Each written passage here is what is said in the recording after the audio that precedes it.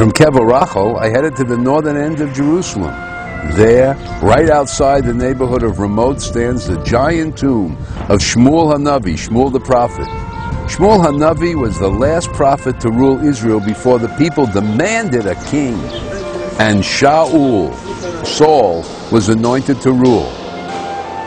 Shmuel Hanavi's grave was said to be located on the highest place outside of Jerusalem, and indeed, on a clear day, you can see from Shechem in the north to Hebron in the south, and from the hills of Jordan in the east to the Mediterranean shores in the west.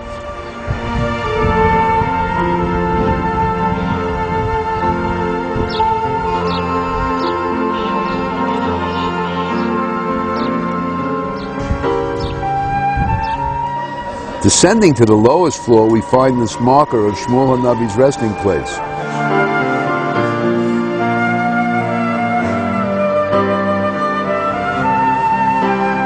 People come here regularly to pray, and it's also a traditional site for the ceremony marking a three-year-old boy's first haircut and entry into Torah learning.